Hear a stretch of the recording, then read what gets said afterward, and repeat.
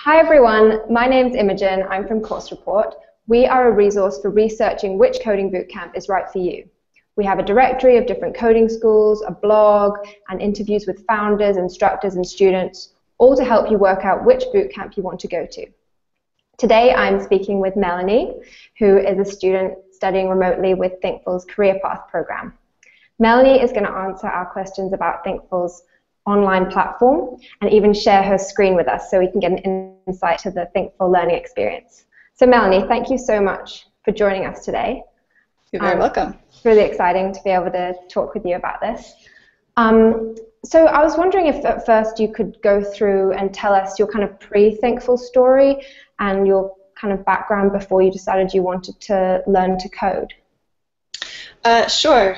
Um, so I come from a background that combines art and science. Uh, so previous to this, I did a degree in chemistry as well as a degree in science visual communication, and it was during the latter that I was exposed to web development. Um, I took my first JavaScript class and fell in love. Um, so after graduating, um, I continued on uh, to do um, to work in illustration, creating textbook illustrations for undergrad science courses. Um, but always on the side, I've been working on uh, you know side projects that involve HTML, CSS, JavaScript, um, and just out of um, passion and curiosity. Um, and just in the last year or so, I decided that I'd like to pursue it more um, as a career. So I researched different front-end boot camps and decided to uh, join Thinkful. Awesome. Um, so when did you actually start Thinkful, and did you kind of have to quit your job, or are you continuing to work? Sure. Uh, I started Thinkful um, in the new year. I think it was. Um, no, actually, I correct. that was incorrect. Uh, November, I think, mid-November is when I started Thinkful, and I have been doing it um, on part-time in addition to working at my full-time job. Oh, that's awesome! Wow, that's so committed of you. Um, and so you mentioned that you were um, kind of doing a bit of coding beforehand. Did you use a, a number of other resources like Codecademy or, or, anything like that? That's right, yeah. So um, I started uh, doing um, programs on Code School, uh, mainly, as well as um, things I could pick up through lynda.com. Um, but I found that just doing those small one-off courses didn't really give me a good overview or a good uh, delta towards a, a, career in web development. Um, so I chose Thinkful because it gave me a, a clear path towards a career. That's awesome. And and once you decided that you know you felt you did need to do a boot camp, did you um, did you decide you wanted to do an online boot camp specifically, or did you look at other types of boot camps? I created a spreadsheet of different boot camps. Uh, so I considered uh, brick and mortar boot camps here in, uh, where I live, um, as well as um, uh, Udemy. I think has a nano uh, course in front end web development. So that kind of like was the get. Um, the range between like quit my job, work, uh, started a you know a physical boot camp where I meet with people every day, um, versus something that's completely online where I don't have a you know I'm not meeting with someone and it's really um, self-directed. Um, so I found Thinkful to be a happy kind of medium between the two um, that both that also let me keep my job. Um, so I get the one-on-one time with a person from the industry um, as well as a clear path towards the career um, and I don't. It's less risk involved because I get to. I don't have to quit my job to, to learn. That's awesome. That sounds like a really smart decision. Um, and what was the application process like when you were applying for Thinkful? Well, um, when I was originally learning about Thinkful, um, I um, to be able to see the course curriculum, I submitted my my email um, address to them and quickly received an email back, uh, would you like to meet with us to learn more? Um, so I decided to do that and I met with uh, Liz Parkesian um, to hear more about Thinkful and just basically ask questions about what it was about, how, how, um, how the program worked and so on. And I got a really good feeling from that. And from there, um, I met with uh, Derek Fogue uh, to discuss the career path program I decided to join. That's so awesome. That's so cool. And can you tell me a bit about the kind of overall learning um, experience? Like, what's a typical day for you when you're when you're working on your Thinkful material? Uh, a typical day will begin in the evening. So after work, I'll typically come home um, and um, log into my dashboard and continue on from the project I was working on, either reading materials that um, are next along my career path, or working on a project, or working on um, a portfolio project. Um, and as well as um, in the evenings of every Monday, Wednesday, Friday, I'll also meet with my mentor. Um, to to discuss um, any problems or issues I have, um, and um, etc. That's so cool. So, do you just have one mentor who you communicate with regularly? That's right. Uh, I have one mentor, Jack Melnick. Shout out Jack. Um, that I meet with every Monday, Wednesday, Friday for an hour. Um, so it's really motivating to to proceed or pr with the coursework if you know that you have a mentor meeting coming up. That's awesome. And what sort of pace have you been learning at? Like, how many hours per week have you been able to spend on this so far? Sure. Well, I've actually been tracking that in other spreadsheets, so I can tell you with some reliability that it varies um, between 20 and 30 hours per week. Cool. And um, are you? Do you know how long it's going to take you to to finish the course and when you might graduate?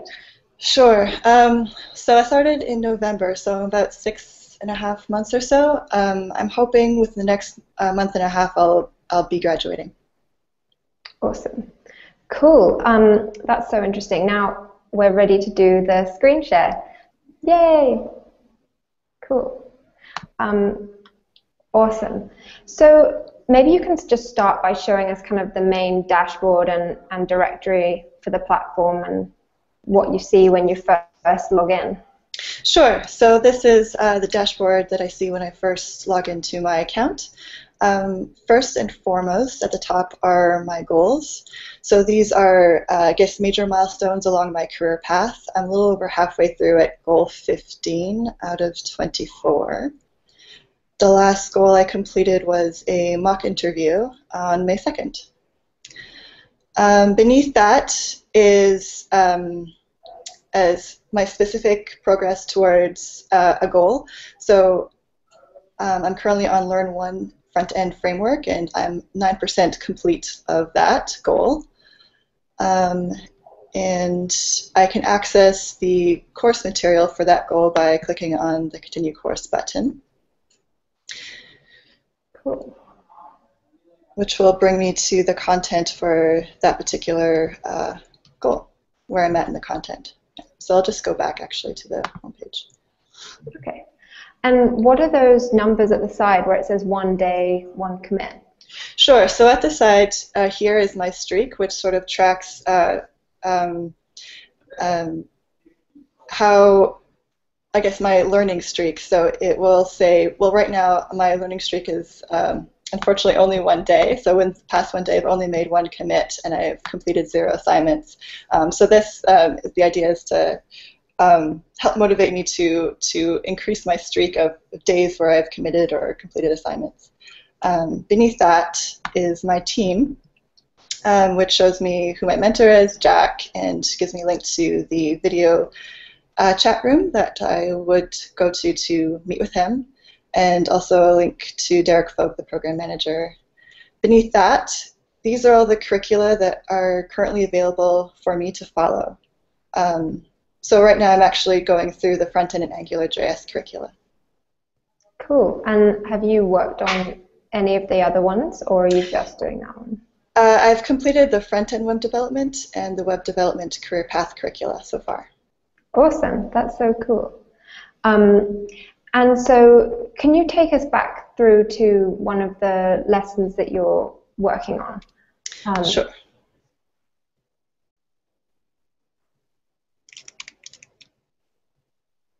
So I'm at, I guess, the sixth um, part of lesson two in unit one of introducing Angular. Um, so right, the particular project I'm working on now, I'm sort of given instructions for creating this Angular app of Mad Libs. And um, with some resources that I'll need to complete it, some gentle guidance, and at the very end is a link, or this is where I'd submit my link to the completed project. Um, so I'll, this is not a real link, but just to show you, um, once I click submit, that uh, task is checked off, um, which is reflected um, in my progress bar in the homepage. That's cool. And so um, when you're working on projects, is that you the ones that are ticked off on the side, those are all the ones that you've already um, done? That's right, yeah. So this gives me a clear idea of what, what uh, I've done and what still needs to get done. That's cool. That's that's so nice and clear so that you really feel like you're making progress. Yes, yes. It, uh, it makes a bit of a gain too. Nice, that's cool. And you were saying that you, you paste the link to your project in there. Where are you building your projects? Um, so the link would be to um, my GitHub account uh, where I've been, um, I guess, saving my project to. Cool, that's awesome. So how do you how do you how much do you use GitHub um, as part of uh, this Thinkful program? Uh, all the time, yeah. So since like um, the first or second lesson in the course where we're introduced to GitHub, we've been using it for every single project. That's really awesome. Um, and how do you communicate with um, mentors and, and, other students? Sure. Um, so the main way I communicate with my mentor, um, well, I communicate with him every uh, three days a week for an hour, and for that, um, I would go to our video chat room. And um, otherwise, if it's not a meeting time, then we communicate through Slack. Um, I wonder if I can. Yeah, so here the Thinkful Slack channel, um, and there's several channels for the that you can join. Uh, so right now I'm showing this is the front end or the web development career path channel. So I would post questions to here that uh, students or their mentors can answer. Um, and I, otherwise, I can chat with my mentor through our, you know, private private uh, chat messages, and um, yeah. So there's different different channels I can um, join to ask specific questions.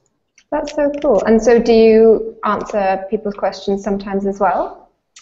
Yes. Sometimes I do know the answer to some questions, and I will try to answer.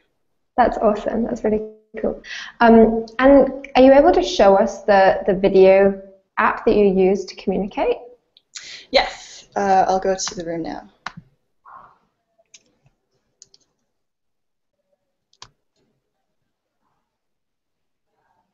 Cool. Um, so this is a video conference room uh, that I would join with my mentor. Mm -hmm.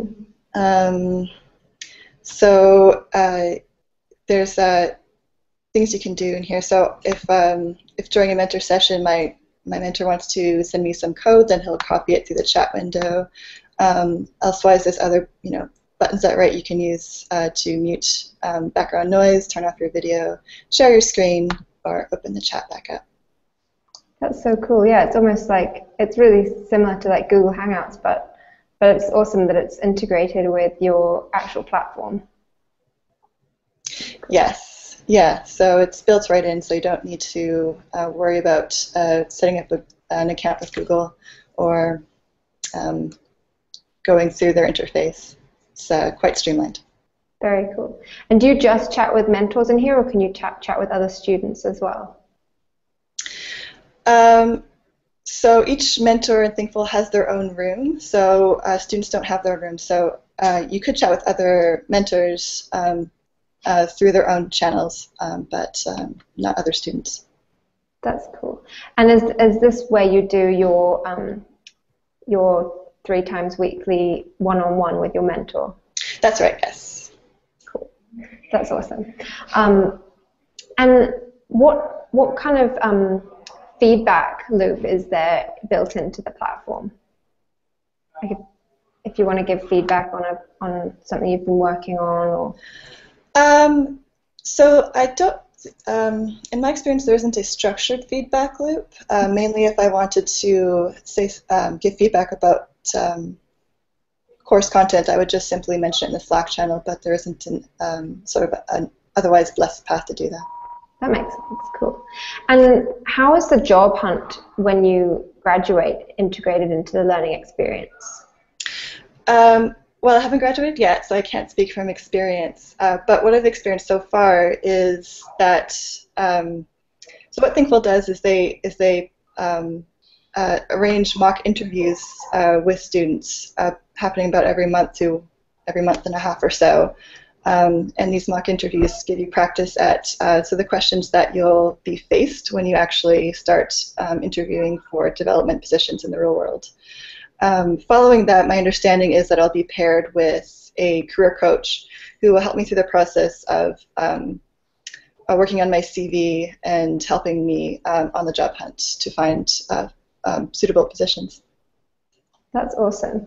Um, and are there any are there any steps in the in the on the online part towards careers, or will you be talking to the career coach like through that same video platform? Uh, I assume so, um, but I'm not. Uh, I haven't uh, done that yet. Okay, cool. That's awesome. And and so far, from from your experience using this platform, what do you like best about it? So what I less like um, best about Thinkful in general is uh, is the is the mentorship aspect. Um, I find it really valuable to not only well, I've not only gained um, real insights into the industry, but um, after meeting with someone for an hour three times a week, they also become your friends. so um, for that reason, actually, I think graduating from Thinkful is going to be a bit bittersweet. But yeah, the community and mentorship aspects are really the best features. That's awesome. That's so cool. And have you have you kind of found other students who you chat with quite regularly? Not regularly, but I have been chatting with a few other students and, um, and made some offline connections with uh, um, a couple of them. Oh, that's awesome. That's so cool. Um, and how would you say that Thinkful, the Thinkful experience is different from using like a free online platform like Codecademy? So Thinkful, its biggest difference is, in addition to the mentorship aspect, is that does give you a clear delta from getting from A to B, from getting from where I am now to uh, a job in the industry.